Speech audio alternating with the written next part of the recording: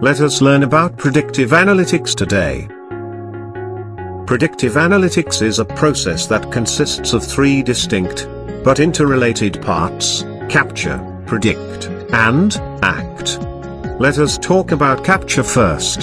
Capture of course, refers to capturing data. So what do we mean by data? Let us use the data triangle methodology to understand data and its various aspects. At one corner of the data triangle, we have sources of data. These could include traditional sources such as relational databases, flat files, Excel spreadsheets, and so on.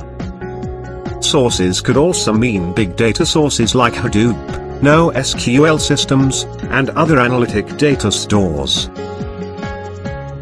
On the second corner of the data triangle, we have forms of data. This would include data at rest which refers to data about transactions that have occurred in the past. And, data in motion, also sometimes referred to as streaming data. On the third corner of the data triangle, we have types of data. This includes structured data, which is data stored in rows and columns. And unstructured data which includes free-form text, pictures, videos and so on.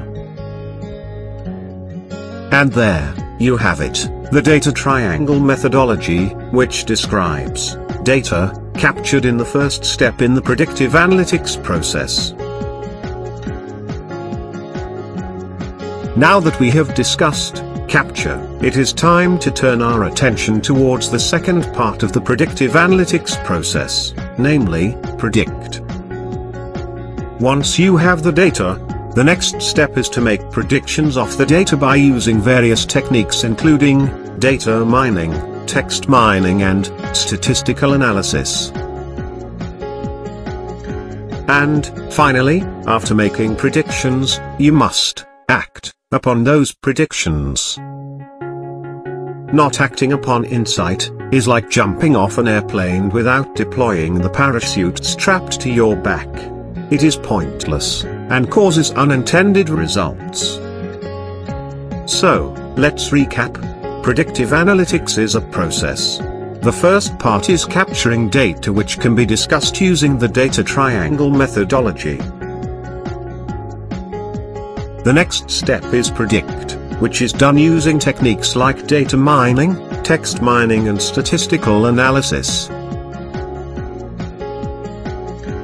And the last step of the predictive analytics process is act, which involves acting upon the insight from the predict stage.